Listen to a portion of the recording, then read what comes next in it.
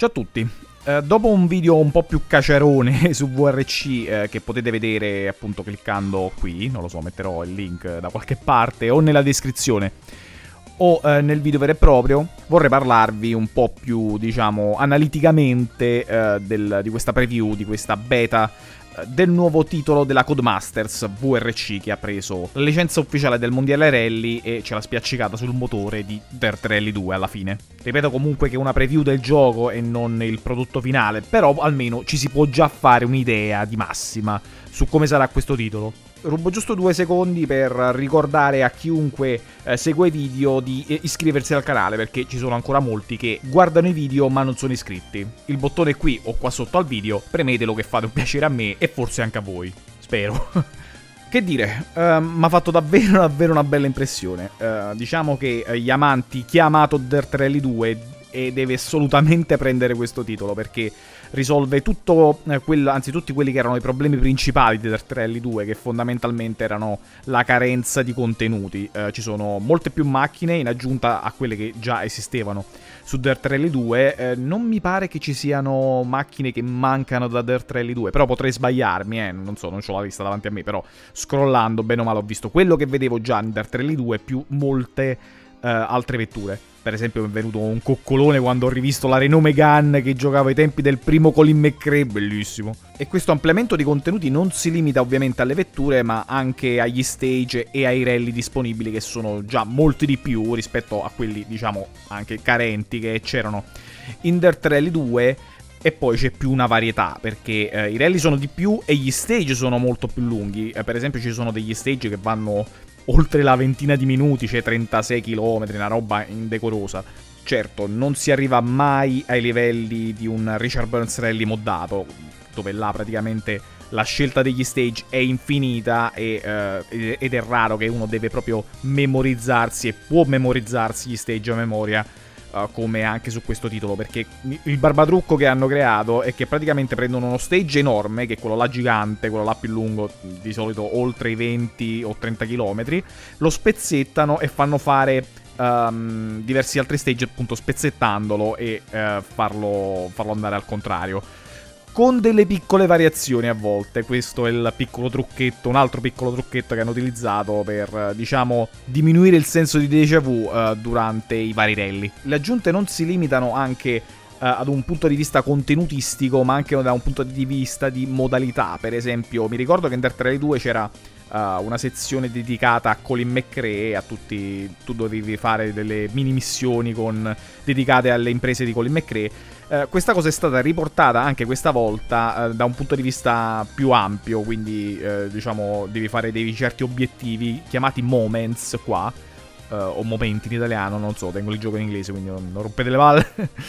Eh, e comunque eh, ci sono questi piccoli obiettivi e tu devi um, cercare di fare uno stage fondamentalmente con qualche difficoltà oppure cercando di sorpassare, uh, di fare lo stage in un certo tempo oppure cercare di prendere quanti meno danni possibili. C'è poi finalmente una modalità carriera degna di questo nome uh, con anche la uh, simpatica aggiunta del fatto che ti puoi creare la tua vettura eh, e non solo utilizzare una delle vetture già esistenti nel gioco all'inizio l'impatto di crearti la propria vettura è simpatico, anche se eh, però vedo stranamente non tantissime opzioni di personalizzazione, cioè la personalizzazione c'è ed è figa,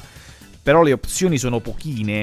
eh, nonostante il fatto che comunque puoi fartela pezzo pezzo. Come già detto nel video di prima, io spero che amplieranno il numero di scelte con, um, con una roba tipo il il podium pass di F1 che sì è un po' a pagamento, diciamo così, è un po' sui crediti di gioco, ma almeno ti dà un po' di varietà nella personalizzazione della vettura invece delle 4-5 opzioni disponibili eh, da un punto di vista uh, di appunto componenti che hai uh, all'inizio. Per chi non è studiato nei rally, c'è anche una sezione proprio di Rally School, dove ci sono delle diverse lezioni in cui tu impari alcune tecniche, tra cui Uh, la frenata col piede sinistro, uh, oppure, che ne so, il fatto di sovrasterzare di potenza, oppure um, sovrasterzare alzando il piede. Insomma, c- ci sono alcune cose che anche per i non uh, studiati, per i non avvezzi alla, alla guida realistica, potrebbe dare una mano a essere veicolati in questo tipo di disciplina. Tornando agli stage, sì, eh, sto andando un po' a braccio, quindi a volte salterò a destra e a sinistra come un deficiente, però seguitemi. Um, tornando agli stage, a parte il fatto che puoi scegliere uh, il, um, il, clima uh, col quale affrontare ogni singolo stage, si può anche uh, decidere la stagione, il che è importante per alcuni rally, tipo quello di Monte Carlo che ho fatto vedere prima, Uh, dove una tappa diventa, diciamo, non dico completamente diversa, però comunque bisogna affrontarla in un modo un po' più accorto uh, nel caso sia inverno e quindi ci sia la possibilità di ghiaccio a terra. Purtroppo però uh, rispetto a quello che poteva essere Dirt Rally 2 dove c'erano proprio nella stessa sezione di pista c'erano parti non ghiacciate e parti ghiacciate ed era fighissimo perché stavi sempre cagato addosso che tu potevi avere il grip a sinistra ma non a destra della carreggiata. In questo caso ho notato che era più un eh, acceso spento, va, diciamo così. Quindi o c'erano parti ghiacciate e quindi scivolavi dappertutto, oppure parti non ghiacciate dove avevi il grip dappertutto. da un punto di vista di guida non sono riuscito ancora a carpire uh, totalmente il modello di guida se uh, riesce a essere um, simulativo o meno. In realtà um, nessuno potrebbe dirlo perché nessuno gira con una macchina da rally continuamente, però uh, da quello che ho esperienziato chi comunque viene da Dirt Rally 2 si ritroverà assolutamente a suo agio. Non credo che sia totalmente identico perché senti che non stai giocando Dirt Rally 2, quindi non è proprio un copia e incolla Uh, non saprei dirvi onestamente se è meglio o peggio. La macchina fa quello che una macchina deve fare fondamentalmente. L'unico appunto che forse ho è che uh, per esempio hanno un po' esagerato uh, con, con, l'effetto di sovrasterzo per le vetture che sono comunque col motore, col motore posteriore. Perché davvero l'effetto del sovrasterzo è un po' troppo, soprattutto in curve lente, e quasi irritante. Quello che non mi è piaciuto però è la grafica, nel senso che Uh, per aggiungere al contesto, questo gioco viene dall'Ego Engine, lo stesso uh, che viene utilizzato per i giochi di Formula 1. Lo hanno portato sull'Unreal Engine, quindi comunque c'è un lavoro di riadattamento che, uh, non lo so, a volte si vede che sembra non essere fatto per la Real Engine e comunque ci sono, sai, i classici artefatti del, della Real Engine, quindi pop-up a cacchio di cane, un po' di ghosting ogni tanto, queste robe qua così. Per avere un punto di riferimento, tutto eh, quello che ho registrato è a dettagli alti e non ultra. Eh, quindi mettete in conto questa cosa qui per analizzare la grafica presa dal mio gameplay. Altre cose che mi hanno fatto un po' stizzire è, è, che praticamente la visuale dall'abitacolo, quella là con il volante visibile, è praticamente ingiocabile perché c'è il volante a schermo che va molto più lento rispetto ai movimenti del giocatore e ehm, ti confonde praticamente. E poi c'è questa cosa che se vuoi eh, guidare eh, le vetture manualmente, sai, col cambio ad H, nelle vetture col cambio ad H, e col cambio sequenziale, con le vetture a cambio sequenziale, devi andare ogni volta nelle opzioni quando cambi la vettura. Cioè, per esempio, tecnicamente puoi mettere uh, l'opzione uh, manuale con cambio ad H pure per le vetture URC moderne, che non c'è zecca cacchio.